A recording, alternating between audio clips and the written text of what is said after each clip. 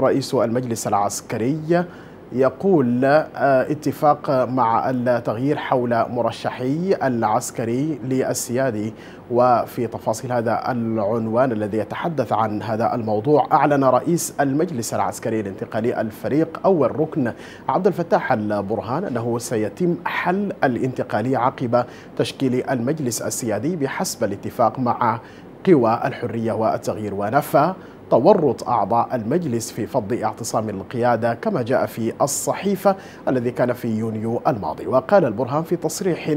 لقناة العربية والحدث أنه سيتم حل المجلس العسكري بعد تشكيل مجلس السيادة وأضاف بأنه لم يتم حتى الآن الاتفاق مع قوى الحرية والتغيير حول الأسماء المرشحة من المجلس العسكري لعضوية المجلس السيادي. وأكد البرهان أنه يثق بأن أعضاء المجلس العسكري ليست لهم أي علاقة بما حدث في فض الاعتصام وكشف أن الأشخاص الذين أمروا القوات بفض الاعتصام قيد الاعتقال وحول إقالة النائب العام السابق الوليد سيد أحمد